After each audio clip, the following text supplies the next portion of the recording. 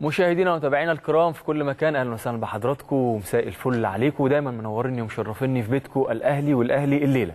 زي ما متعودين دايما مع حضراتكم من خلال هذا البرنامج المميز على شاشة قناة الأهلي بنغطي كل أخبار النادي الأهلي في كل مكان. أكيد أبرز الأخبار وصول بعثة النادي الأهلي الحمد لله آه، آه، إلى آه، الكونغو لملاقاة فريق فيتا كلوب مباراة مهمة جدا زي ما حضراتكم عارفين. مباراة إن شاء الله تكون من نصيب النادي الأهلي.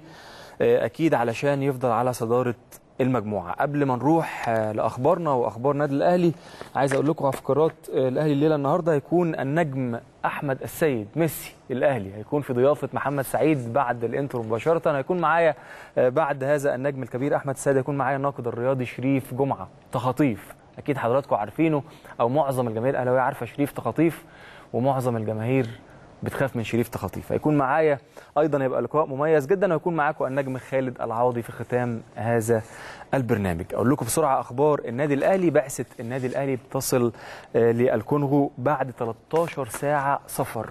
القاهرة أثيوبيا أثيوبيا آه، للكونغو. يعني رحلة شاقة جدا جدا جدا. على أثر هذه الرحلة ألغى لاسارتي ميران اليوم. عارفين السفر بقى فيه مشقة كبيرة جدا للعيب لعيب الكورة. تحديدا كأنه تمرينة وتمرينة كبيرة جدا وجامدة جدا كمان. ممكن بعد السفر لو في تدريب ممكن يحصل إصابات وإصابات كبيرة جدا. عشان كده لاسارتي تفادى التمرين. وهقول لكم نص الخبر كمان. كان في استقبال البعثة السفير المصري آه، في الكونغو السيد حمدي شعبان. كمان كان في استقبال بعثة آه، سيد عبد الحفيظ نجم الأهلي ومدير الكرة بالنادي الأهلي. عارفين رئيس البعثة السيد طارق اندير رئيس بعثة النادي الأهلي وعضو مجلس إدارة النادي الأهلي. إن شاء الله تكون رحلة موفقة كالعادة للنادي الأهلي. زي ما قلت لحضراتكم مباراة مهمة جدا يوم السبت المقبل إن شاء الله. بنستناها كلنا كجماهير أهلاوية آه، لأهمية هذه المباراة وأهمية هذه البطولة الغالية علينا قوي إحنا كأهلاوية. إن شاء الله إن شاء الله بإذن الله دايما بقول الثالثه ثابته خسرنا النسخة اللي فاتت والنسخة اللي قبلها إن شاء الله تكون هذه النسخة داخل الجزيرة بإذن الله.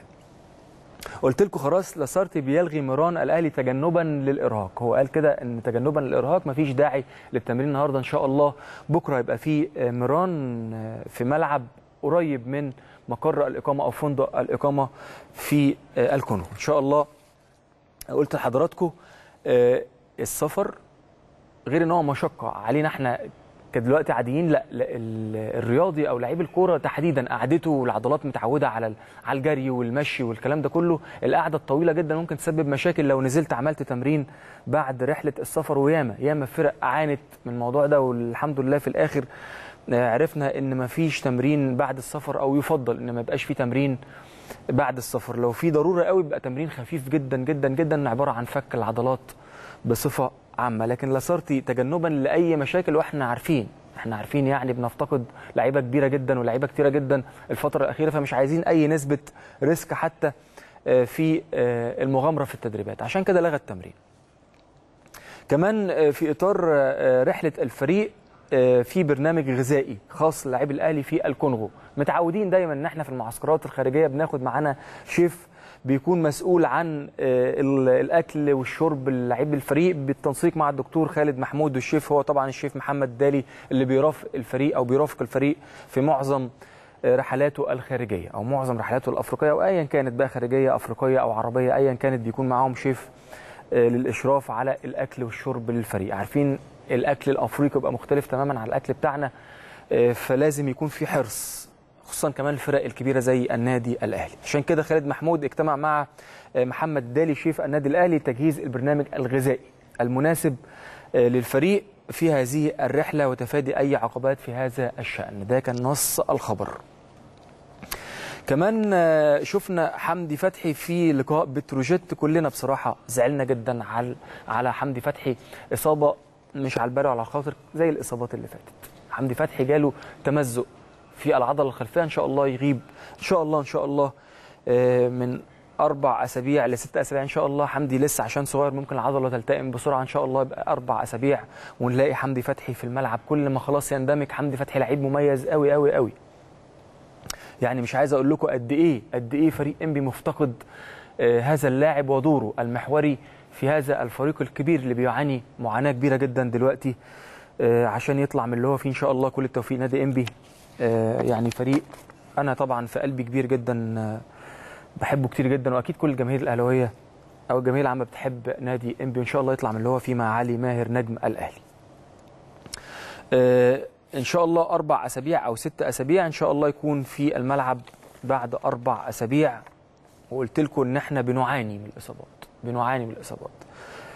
المباراة اللي فاتت مباراة ممتعة لينا كجماهير أهلاوية. عملنا فيها كل حاجة في الكورة الحمد لله الفريق تحس إن إحنا كل لعيبة فايقة ما شاء الله ما شاء الله. لكن افتقدنا طبعا نجم الكبير جدا كريم ندفي كل الجماهير الأهلاوية كانت سبحان الله. وأحلى حاجة قلت لكم قبل كده إن إحنا كنا بنقول قبل كده يا كريم يا كريم لازم نر- نريح كريم لازم لازم لازم. الوقت ده الجماهير قالت إحنا آسفين يا كريم كلنا آسفين يا كريم. فعلا إحنا عرفنا أنت لعيب كبير جدا لعيب مهم جدا لعيب راجل جدا آه، زي بقية اللعيبة. إن شاء الله ترجع كنا محتاجينك طبعا مباراة الزمالك. ده لسان الجماهير الأهلاوية. محتاجينك جدا كمان. دلوقتي بنقول كريم واللعيب. آه، اللعيب الراجل بيبان قوي في النادي الأهلي. زي معظم اللعيبة. إن شاء الله يرجع بعد آه، مباراة الزمالك. كنا محتاجينه قوي قوي قوي. ده الهدف. هدف ولا أروع بصراحة. في كمية تعاون آه، مطلوبة في النادي الأهلي. وكمية حب مطلوب في النادي الأهلي. جيراودو وكريم آه، واجاييه وناصر. حاجة كانت جميلة قوي. أهداف كان فيها تعاون كبير جدا أهداف حلوة قوي قوي مروان مع اجاييه مع آه، كريم ندفد مع ناصر. حاجة جميلة قوي بصراحة. إن شاء الله آه، يظل هذا الأداء الممتع للنادي الأهلي في ظل الضعف بتروجيت في هذه المباراة. مش عايزين ضعف بتروجيت في هذه المباراة. آه إحنا كنا كويسين قوي وفايقين قوي لكن بتروجيت ما كانش بتروجيت خالص. فاحنا ما بنقص طبعا على الفرق لكن إحنا بنقول الحمد لله إحنا بنرجع. في تعاون في فكر في إدارة. آه، في رؤية كبيرة جدا للجهاز الفني لما خرج علي معلول. يعني كان في بعض الناس يقول طب ما بلاش كريم ندفد يلعب. طب لو ما كانش كريم ندفد يلعب الماتش كان صعب شوية أو تعقرب شوية بلغة الكورة يعني. كنا نقول طب هو ليه ما نزلش كريم ندفد يعني يعني آه، الموضوع يا جماعة مش زي ما إحنا بنحسبه كجماهير. إحنا الموضوع بنحسبه كرؤية جهاز فني. هو عارف مين الأولوية وعارف لو الماتش طبيعي إن هو يكسبه أو سهل إن هو يكسبه. أكيد هيقعد كريم وهيقعد علي معلول وهيقعد آه، جيراودو. يعني لكن الماتش مباراة بتروجيت بتروجيت. بالرغم من الموقف اللي هي فيه لكن بتروجيت. بتروجيت فريق قوي جدا جدا. آه، ياما صال وجال في الدوري المصري وياما كان ند كبير قوي للأندية الكبيرة أهلي زمالك آه، ايا كان. هو أساسا كمان بتروجيت نادي كبير قوي. فعشان كده كان لازم تدفع بكل الأوراق اللي انت شايفها ممكن تكسبك هذه المباراة. كريم ندفد مع اجاييه مع علي معلول آه، مع مع جيراودو اللي حضراتكم شايفينه عمل مباراة ولا أروع لعيب بنستنى منه كتير قوي قوي قوي مع كل لعيبة النادي الأهلي. مروان محسن ما شاء الله عمال يرجع. عندنا دكة كبيرة جدا. عندنا أحمد فتحي. أحمد فتحي الراجل بتاعنا اللي أنا دايما بقول عليه سيد الرجالة. أحمد فتحي قاعد احتياطي مستني دور. ينزل دلوقتي أحمد فتحي عشان أنتوا عارفين كلكم إن أحمد فتحي لما بينزل ما بيطلعش من الملعب. لكن برضه حسابات كبيرة جدا للجهاز الفني. أعتقد إن أحمد فتحي ممكن يتم الدفع بيه كديفندر. هاني ماشي بصورة ولا أروع من كده. ما شاء الله برضه نمسك الخشب. back right عصري. وياما اتكلمنا عن هاني. وياما اتكلمنا عن ناصر ماهر. وياما اتكلمنا عن أحمد حمدي. وياما اتكلمنا عن أحمد ياسر ريان. متألقين جدا أيضا مع نادي الجونة. يعني إن شاء الله كل العناصر دي تروح تاخد خبرات وترجع تاني وتبقى فرقة آه، تهد أي حد. لكن في الأول وفي الآخر افتقدنا كريم نيدفيد وافتقدنا حمدي فتحي. إن شاء الله يرجعوا. كريم هيبقى بعد ماتش الزمالك وحمدي فتحي إن شاء الله بعد أربع أسابيع. زي ما حضراتكم شايفين برجاوي بيجيب لنا لقطات من هذه المباراة. ده جون جونيور اجاييه جون ولا اروع حاجة جميلة جدا. قلت لكم لاسارتي بدأ يدخل في الأجواء الأهلاوية بشكل كبير قوي. بدأ يبقى ليه لمسات. بدأت كمان الجماهير تهتف باسم لاسارتي والجماهير الأهلاوية ما بتعملش كده مع أي حد.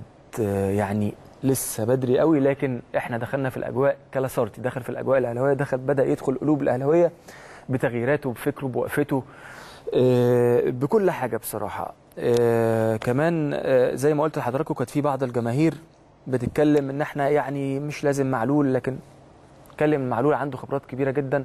آه من الناحية الدفاعية علينا علامات استفهام كبيرة قوي لكن لعيب بيلعب بدماغه قوي بيلعب بخبرة كبيرة قوي بيلعب بالسهل الممتنع قوي بيعرف إمتى هيطلع وإمتى هيقف وإمتى هيعمل سبرنت. لكن يعني في في الشكل العام آه، بناخد اللي إحنا عايزينه من علي معلول وهو بيطلع اللي هو عايز يطلعه للنادي الأهلي والجمهور النادي الأهلي. كنا كلنا قلبنا يعني اتهز شوية من الفاول اللي عمله علي معلول وشفنا بعض الآراء كده أو بعض الآراء بيقولوا يعني كان لازم ياخد إنذار. أنا ما كنتش شايف إن هو إنذار خالص إحنا بنتكلم في الفير.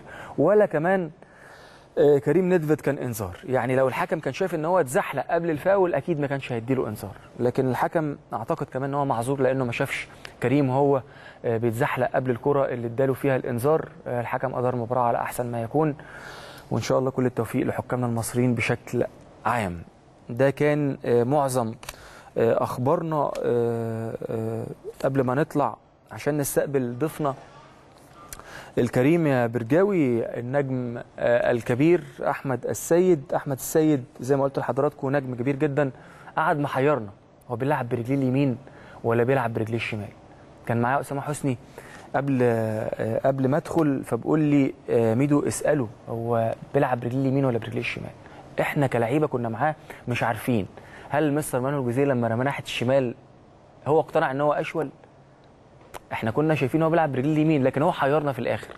وهو كمان صدق إن هو أشول وقال لك بقى أصل الأشول بيبقى أحرف من اللي بيلعب برجليه اليمين فأنا أخليني برجليه الشمال. لكن كان مساك رخم قوي بلغة الكورة اللي لعبت عليه في ماتشات كتير وإحنا في انبي مساك رخم قوي مع إنه يبان للشكل العام إن هو مش اللي هو لكن لا مساك كان رخم قوي قوي قوي. حسه الفرود الفرود اللي هو بجد يعني. مساك كان رخم بيقعد لازق فيك كده. آه، ما يسيبكش أحمد السيد. تاريخ كبير قوي في النادي الأهلي. لكن عايز برضو آه، محمد سعيد يسأله ويأكد عليه هل هو أيمن ولا أشول؟ لازم. وخلي بالكم يا جماعة من تسريحة شعره. أنا ما قلتلكوش حاجة. استنوه بعد الفاصل.